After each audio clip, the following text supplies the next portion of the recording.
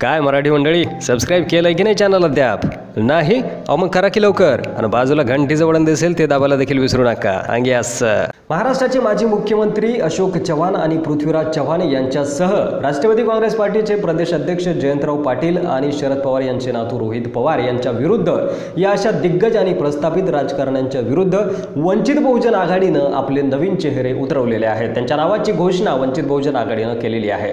बघूया की या दिग्गज आणि प्रस्थापित राजकारण्यांसमोर वंचित बहुजन आघाडीचे कोणते नवीन चेहरे निवडणुकीच्या मैदानात असणार आहेत? वंचित बहुजन आघाडीनं आपल्या पहिल्या बावीस उमेदवारांची यादी जाहीर केलेली आहे ज्यामध्ये अशोक चव्हाण जयंतराव पाटील पृथ्वीराज चव्हाण आणि रोहित पवार यांच्यासारख्या अनेक दिग्गज आणि प्रस्थापित राजकारण्यांच्या विरोधामध्ये वंचित बहुजन आघाडीनं आपले नवीन चेहरे उतरवलेले आहेत. सुरेश जाधव वंचित बहुजन आघाडीचे शिराळा विधानसभा मतदारसंघामधून उमेदवार असतील. डॉक्टर आनंद गुरव हे करवीर या विधानसभा मतदारसंघामधून वंचितचे उमेदवार असतील. त्यानंतर दिलीप कावडे हे दक्षिण कोल्हापूरमधून बाळकृष्ण देसाई हे कराड दक्षिणमधून वंचित बहुजन आघाडीचे उमेदवार असतील. कराड दक्षिण हा पृथ्वीराज चव्हाण यांचा विधानसभा मतदारसंघ आहे.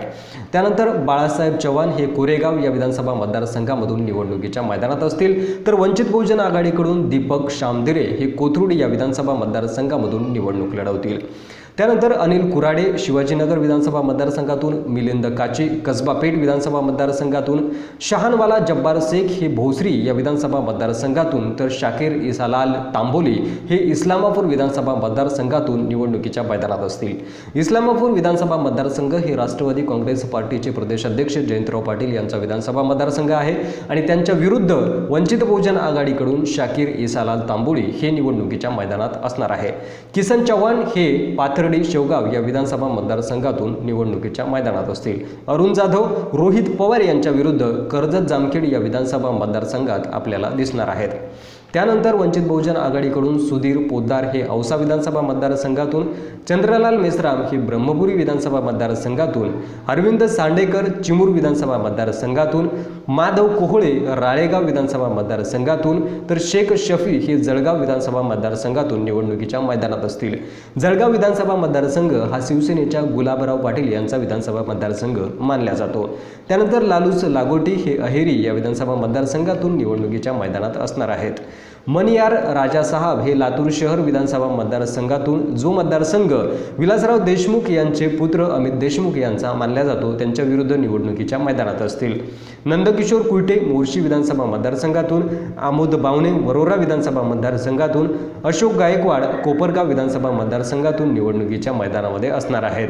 तर ही होती वंचित बहुजन आघाडीची पहिली बावीस उमेदवारांची यादी आणि काही दिग्गज उमेदवार ज्यांच्या विरुद्ध वंचितचे नवे चेहरे निवडणुकीच्या मैदानामध्ये असणार आहे. या हाय प्रोफाईल विधानसभा मतदारसंघामध्ये अर्थात अशोक चव्हाण यांच्या विधानसभा मतदारसंघामध्ये जयंतराव पाटील यांच्या विधानसभा मतदारसंघामध्ये पृथ्वीराज चव्हाण आणि रोहित पवार यांच्या विधानसभा मतदारसंघामध्ये वंचित बहुजन आघाडीला यश मिळेल का?